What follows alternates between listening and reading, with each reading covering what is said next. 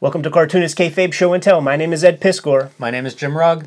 Jim Rugg, printing in color is a fickle mistress, man. Yes, it is. When you project these pixels on a screen, on a black screen, using red, blue, and green pixels, and then translating that stuff you see on screen onto a white piece of paper with cyan, magenta, and yellow inks. Pretty dicey. The difference is almost impossible to explain. Uh, you can see it if you use Photoshop. Sometimes they'll sort of show you colors that won't translate and what the translation will be, and it's often very, very different. And just the fact that what you're seeing on the monitor might not be see- what I'm seeing on my monitor. That's true too. A lot of calibration tools out there to try to adjust this, but it's it's kind of a crapshoot. It's the reason we have proofs made. Uh, you know, because there really is no substitute for actually printing it and seeing it on paper because even the papers make a difference. And even the print, the machines make a difference, man. Yes. A you might be you might be too generous in your fickle mistress.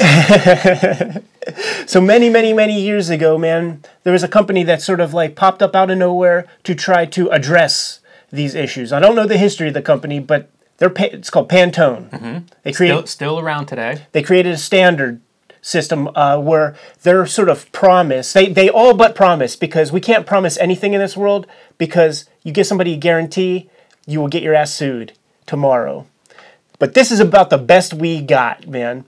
I- and it's a long accepted system that basically every professional industry uses man for the colors on your little action figures to po- posters to the color of uh, the red on your Nike Air Jordans, man. Pantone gets a piece of that. But here's the thing they hold a monopoly in this. They are the accepted standard. There's not a competitor in this field for them. So if you want to get your hands on one of those Pantone swatch books so that you have perfect color, color that looks exactly the way it looks on that page, and you if you want that to translate into your final product, you're gonna pay a couple dollars, man, for that fucking swatch book. Somewhere in the upwards of one to five hundred dollars sometimes for these things.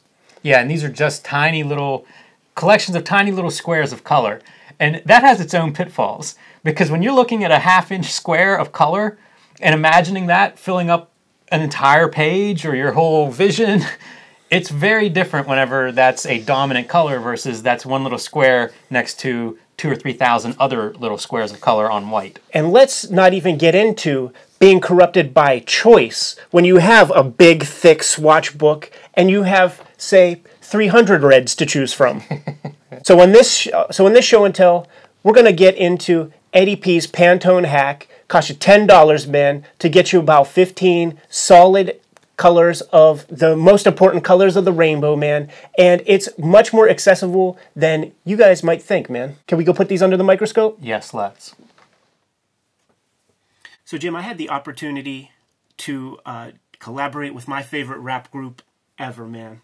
Public Enemy, man. Like when I was doing Hip Hop Family Tree, I got a lot of offers to draw a lot of album covers for some whack, garbage artists, man. Public Enemy is my favorite group, and when Chuck D came a call in and asked if uh, I wanted to do some toy designs, I couldn't let anybody else do it, man. So don't tell him, man, but I would have done it for free. And the cool thing about it was that uh, you know money was being spent.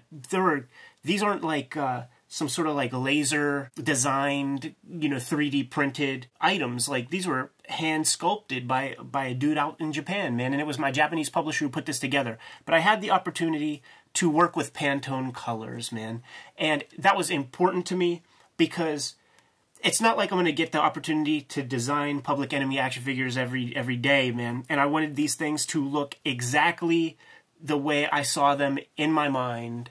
And the best way to do that when it came to color was to work with uh, Pantone inks, man. PMS inks, man. You d- you get a guide and then you denote the exact uh, colors that you want for each of these things, man.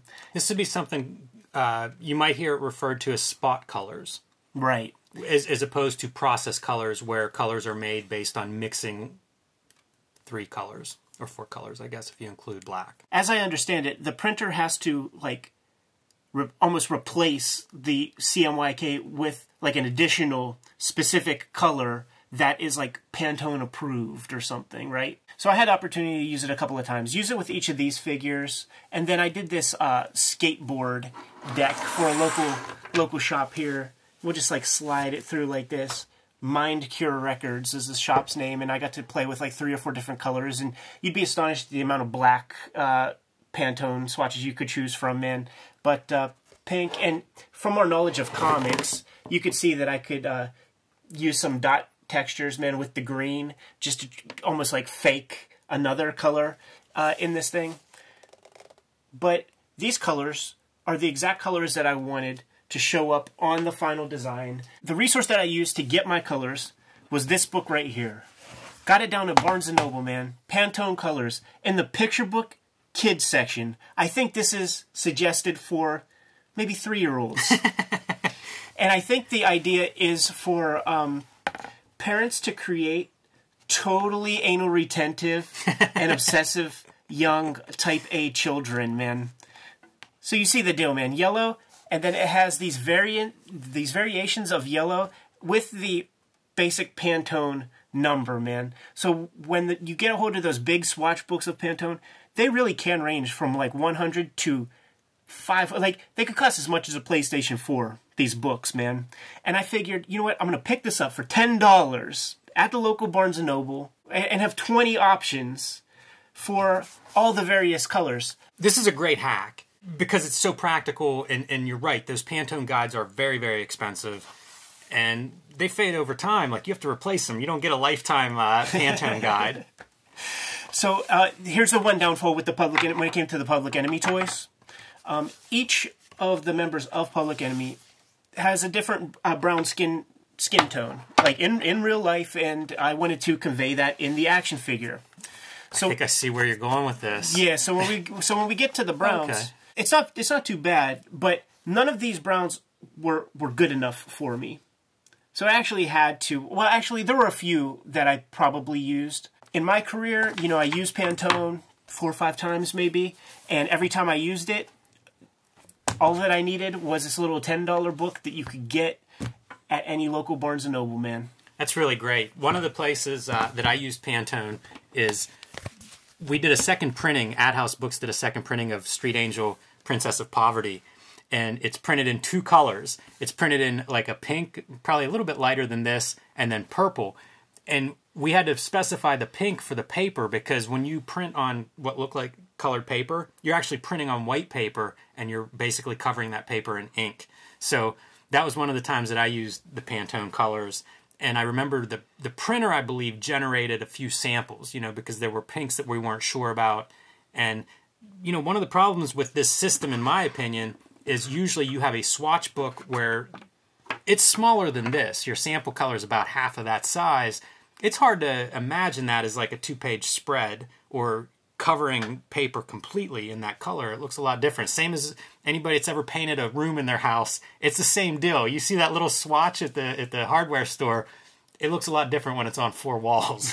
so, you know, it, it, it's it's a very expensive and precise system, but even still, it has its ups and downs, and, and really the more you work with it, the better uh, adjusted you get. You know, you might print lighter if it's going to have a lot of coverage, for example. I have a um, another set. Like I bought this book twice, and I cut out each of the mm-hmm. squares so that I can kind of like butt them up against each other and see what this like light blue would look like against this kind of um, maroon wine color of, of, of the hoodie there, man. So that's like another that's thing that thing. I recommend because if you just learn painting there are weird blues in in in flesh tone that are not obvious there, but when you see them married up against like the flesh color, like it just looks like normal shading. So our our eyes play a lot of tricks on us when it comes to putting colors together, and you might think certain things look good uh, up against one another, but uh, it's always best to color to changes it. whenever it's next to another color for sure.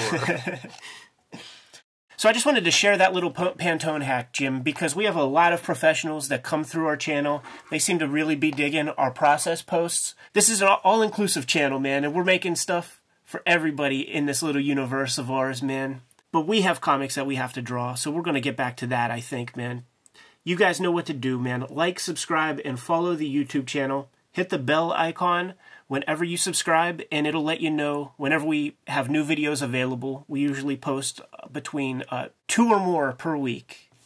You can find our cartoonist kayfabe, read more comics, read more manga merch at our spread shop. There is a link in the description below this video. So we're going to get back to it. Jim blew the spot, but you guys know what your marching orders are. Read more comics.